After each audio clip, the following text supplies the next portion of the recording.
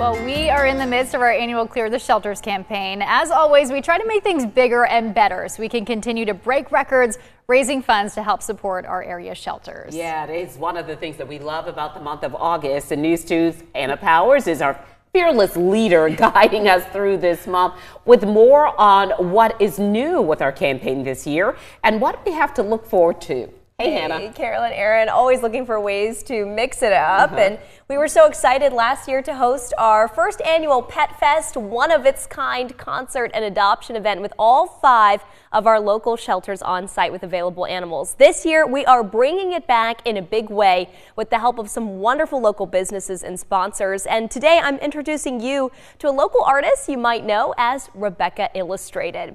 When we had the idea to put together some PetFest merchandise with 100% of the sales going directly to our shelter partners, Rebecca Illustrated stepped up to the plate to create a custom design for us to use, donating her time for a wonderful cause. She's inspired by the low country. Rebecca has a permanent storefront inside the historic Mills House Hotel in downtown Charleston, but she also sells her art all over the world to charming boutiques and big retailers. Her unique watercolors are vibrant and fun, and we are so grateful for her help bringing a Pet Fest logo to life. While art is one of her greatest passions, so is giving back to Charleston. I'm also really passionate about giving back, which is why I'm excited to be partnering with you on this project. Uh, this is a really cool community pet project. Helping out with this is really just a natural extension of, uh, from my love of, of art and community. Um, bringing people together is my thing. Um, I, uh, I'm all about spreading joy. Um, one piece of art at a time. So yeah, I can't wait to wear a t-shirt myself and um, I hope you do really well. It's an amazing cause. Uh, thank you again for choosing me.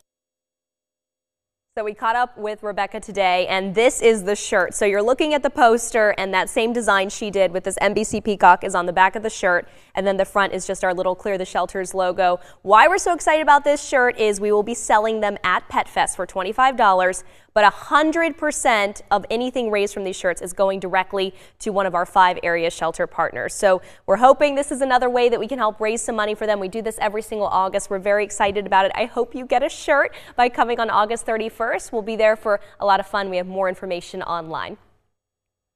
All right, Hannah, thank you. We are so looking forward to it. And for everything that you need to know about our Clear the Shelters campaign and the upcoming Pet Fest, just go to our website. That's counton2.com.